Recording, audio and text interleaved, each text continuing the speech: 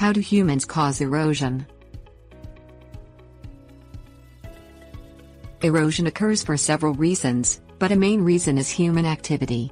When humans disturb the earth with construction, gardening, logging and mining activities the result is a weakening of the topsoil of the earth, which leads to excessive wearing away and erosion.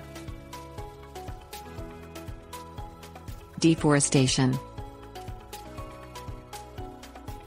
Deforestation, which is logging or burning forests, is a way in which humans cause erosion.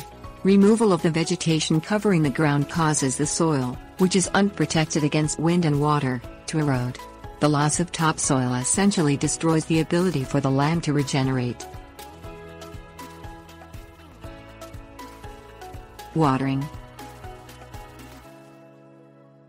Watering gardens and lawns also causes erosion. When using a garden hose or an irrigation system, the water hits the ground with enough force to cause the soil to erode. Overwatering will also cause soil erosion. Agriculture Agriculture is the main way humans cause soil erosion. When vegetation is planted in the ground, the topsoil is shifted, which causes erosion.